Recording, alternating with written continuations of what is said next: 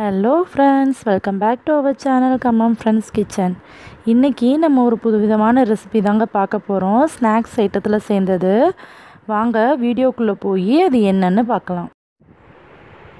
இந்த ஸ்நாக்ஸ் செய்கிறதுக்கு ஒரு கப் அளவுக்கு துவரம்பருப்பு ஒரு கப் அளவுக்கு கடலைப்பருப்பு எடுத்து ஈக்குவல் குவான்டிட்டியில் நான் ஒரு ஹாஃப் அன் ஹவர் ஊற வச்சுக்க போகிறேன் ஹாஃப் அன் ஹவர் ஊறினதுக்கப்புறம் காமிக்கிறேன்.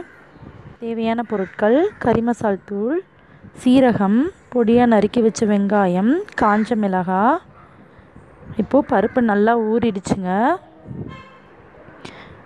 கூடவே கொஞ்சம் பெருங்காயத்தூளும் ஆட் பண்ண போகிறேன் இப்போ பருப்பை மிக்சியில் போட்டு பருப்பு வடைக்கு நம்ம அரைச்சி எடுக்கிற பதத்தில் நான் அரைச்சி எடுக்க தண்ணி சேர்க்காமல் அரைச்சி எடுக்க போகிறேன் அதுக்காக முதல் கடலைப்பருப்பை ஜாரில் சேர்த்துக்கிறேன். என்னடா பேரே சொல்லாமல் இவ செஞ்சிட்ருக்காளே நினைக்காதீங்க. வீடியோ ஃபுல்லாக பாருங்கள் அது என்னென்னு உங்களுக்கே தெரியும். இப்போது மிக்ஸி ஜாரில் பருப்பு ஆட் பண்ணியாச்சு. அது கூட பெருங்காயத்தூள் சேர்த்துக்கிறேன். நான் குட்டீஸுங்களுக்கு கொடுக்க போகிறனால ரெண்டு காஞ்ச மிளகாய் தான் ஆட் பண்ணுறேன் உங்களுக்கு காரம் அதிகம் தேவைன்னா நீங்கள் இன்னும் கொஞ்சம் ஆட் பண்ணிக்கலாம். சீரகம் கறி மசால் தூள் இதெல்லாம் சேர்த்து இப்போ இதை நான் அரைச்சி எடுக்க போகிறேன் அரைச்சி எடுத்தாச்சுங்க. இந்த பதத்துக்கு இருந்தால் போதும். பருப்பு வடை தட்டி எடுக்கிறோம் இல்லையா? அந்த பதத்துக்கு இருக்கணும். இந்த ஸ்டேஜில் நம்ம நறுக்கி வச்ச வெங்காயத்தை இதில் நான் ஆட் பண்ணிக்கிறேன். இது கூடவே தேவைக்கு அளவாக உப்பு நான் ஆட் பண்ணிக்கிறேன். ஆட் பண்ணிவிட்டு நல்லா மிக்ஸ் பண்ணி விட்டுக்கலாம். ரொம்ப டேஸ்டியாக இருக்குங்க. நீங்கள் கண்டிப்பாக செஞ்சு பாருங்கள் நல்லா மிக்ஸ் பண்ணிவிட்டு காமிக்கிறேன். நம்ம மிக்ஸ் பண்ணி வச்சோம் இல்லையா? அதில் இந்த கொத்தமல்லி தலையை பொடிசாக கட் பண்ணி நான் ஆட் பண்ணிக்க போகிறேன்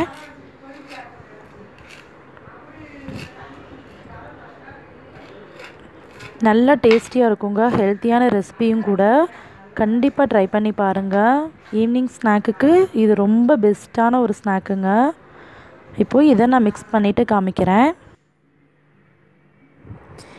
இந்த ஸ்நாக்கில் முக்கியமான இன்க்ரீடியன்ஸே இது தாங்க கோதுமை மாவு. இதை நான் சப்பாத்தி மாவு பதத்தில் நல்லா பிசைஞ்சு எடுத்து வச்சுருக்கிறேன். அட் த மீன் டைம் நான் பேனில் ஆயில் ஊற்றி ஹீட் பண்ணிகிட்ருக்கேன் இதை பொரித்து எடுக்கிறதுக்காக. எண்ணெய் நல்லா ஹீட் ஆகட்டும். அதுக்குள்ளே நம்ம இதை நல்லா உருட்டி எடுத்துக்கலாம். சின்ன சின்ன உருண்டையாக பிடிச்சு வச்சு சப்பாத்தி மாவு தேய்க்கிற மாதிரி தேய்ச்சிக்க போகிறோம்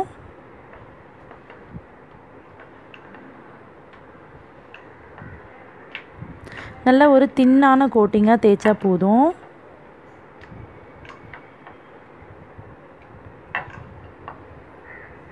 ஆல்மோஸ்ட் கச்சோடி மாதிரி தாங்க இருக்கும்.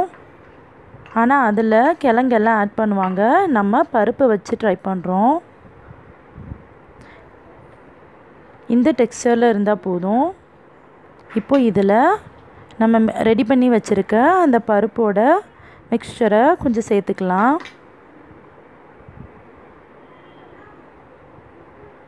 இதை இப்போ ஃபுல்லாக கவர் பண்ணி எடுத்துக்க போகிறேன்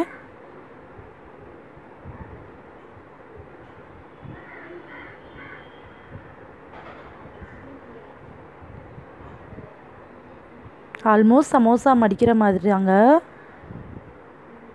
இப்போ நான் கவர் பண்ணி எடுத்துட்டேன்.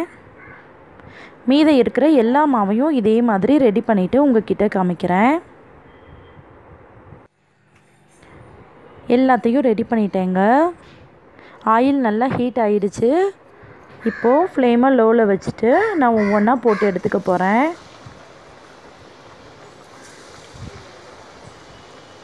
இது நல்லா பொறிஞ்சு வர்ற வரைக்கும் ஃப்ளேம் நமக்கு லோவில் தாங்க இருக்கணும்.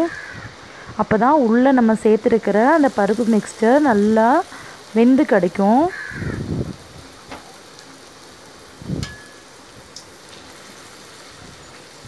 ரொம்ப டேஸ்டியான ரெசிபி இது.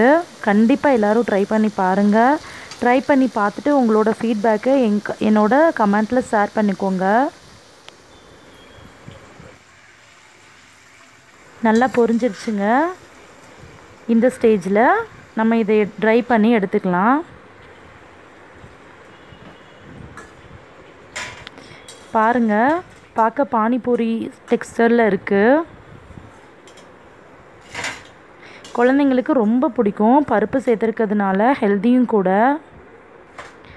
ஈவினிங் ஸ்நாக்ஸ்க்கு கடையில் நம்ம தேவையில்லாத பண்டங்களை வாங்கி கொடுக்கறத விட வீட்டில் இந்த மாதிரி நம்ம ஹோம்மேடாக ரெடி பண்ணி கொடுத்தோன்னா குழந்தைங்களுக்கு ரொம்ப பிடிக்கும். அவ்வளோதாங்க ரெடி ஆயிடுச்சு. இப்போவாவது இதோட பேரை சொல்லுங்கள் அப்படின்றீங்களா? வீட் ஃப்ளோர் பருப்பு வடை. அதாங்க அதோட பேர். ஒரு புதுவிதமான ரெசிபிங்க கச்சோடி டைப்பில் தான் இருக்கும் இது இதோட டெக்ஸ்டர் காமிக்கிறதுக்காக உங்களுக்கு நான் கட் பண்ணி காமிக்கிறேன். பாருங்கள் உள்ளே இருக்க பருப்பு எவ்வளோ நல்லா பாயில் ஆகிருக்குன்னு செம்ம டேஸ்ட்டாக இருந்துச்சுங்க. கண்டிப்பாக ட்ரை பண்ணி பாருங்கள் ஓகேங்க. நம்மளோட வீடியோவை பார்த்து எல்லோரும் கண்டிப்பாக என்ஜாய் பண்ணியிருப்பீங்க இன்னும் இந்த மாதிரி புதுவிதமான நிறைய ரெசிபி நம்மளோட வீடியோவில் காத்துட்ருக்கு. கண்டிப்பாக எல்லோரும் தொடர்ந்து சப்போர்ட் பண்ணுங்கள் நம்ம சேனலை சப்ஸ்கிரைப் பண்ணுங்கள் கூடவே பெல் ஐக்கானையும் கிளிக் பண்ணிக்கோங்க. அப்போ தான் நான் கொடுக்குற ஒவ்வொரு நோட்டிஃபிகேஷனும் உங்களுக்கு உடனுக்குடனே கிடைக்கும். ஓகேங்க. தேங்க்ஸ் ஃபார் வாட்சிங்